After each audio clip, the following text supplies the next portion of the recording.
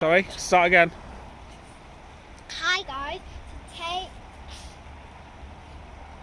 Start again. Start again. Start again. Hi guys, today we took Violet in a little here and it looks really funny.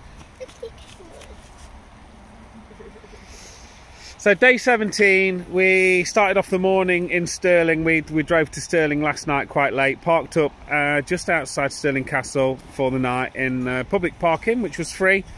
Um, and we went to Stirling Castle this morning.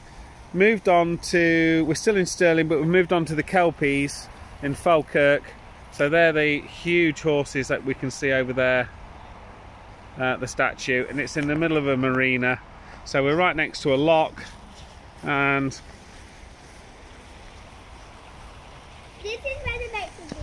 And you have to open that. very very beautiful. We've been lucky again with the weather today.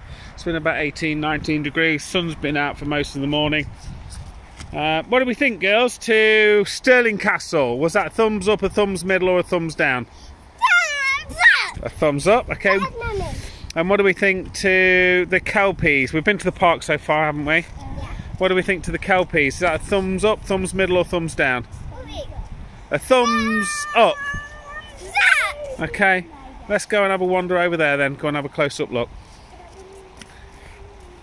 Bye-bye. hi mummy